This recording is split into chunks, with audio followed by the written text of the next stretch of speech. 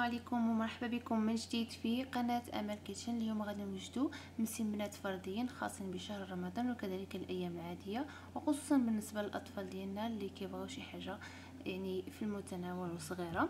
غادي نشوفوا المكونات وكيفية الاستعمال أو الطريقة اللي غادي نخدموا بها هاد آه، المسمنات. بالنسبة للمكونات كنحتاجوا زلافة ديال الدقيق وكذلك زلافة ديال السميدة رقيقه وغادي نضيف لهم ملعقة ديال الخميره المعجونة اللي أنا ضفت لها من قبل شوية ديال الماء ورشة ملح ما يعادل آه، ربع ملعقة.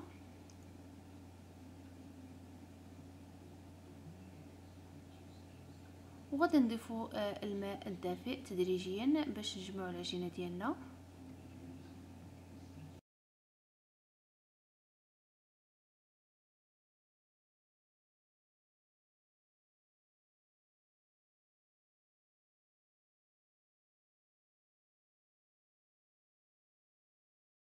غادي ندلكو العجينه ديالنا آه تقريبا 8 حتى 10 دقائق ولكن من الاحسن آه الآلة الكهربائية.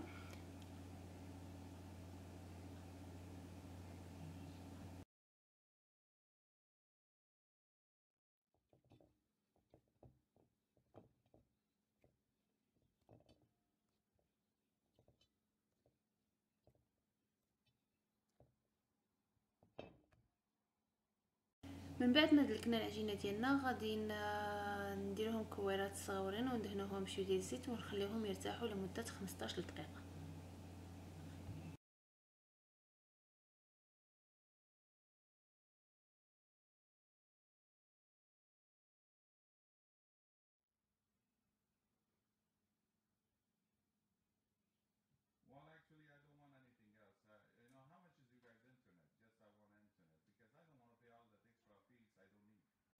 غادي ناخذ الكريات ديال العجينة آه وغادي ندهنو مكان آه الخدمة بشوية ديال الزيت وغادي نسرحوا العجينة حتى تولي شفافة آه وغادي ندهنوهم آه بالزبدة والزيت اللي مخلطاهم من قبل وكذلك غادي نرشوهم بالسميدة وغادي نشكلوهم أو نطويوهم على شكل مربعات.